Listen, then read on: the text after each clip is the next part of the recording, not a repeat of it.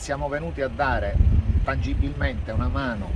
alla cooperativa Giorgio Lapira che sta provvedendo a consegnare i primi colli raccolti con le donazioni delle farmacie eh, del nostro territorio per l'emergenza ucraina.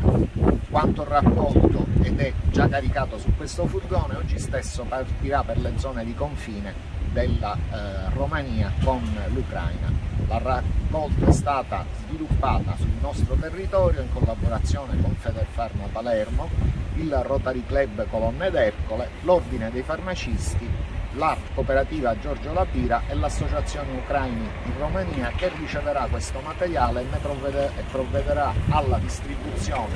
nelle zone di confine agli sfollati che, avessero, che ne hanno necessità e alla, con la consegna alla Croce Rossa La campagna di raccolta delle donazioni dirette delle farmacie continuerà la prossima settimana e contemporanea nelle farmacie aderenti si svolgerà la raccolta delle donazioni dei cittadini.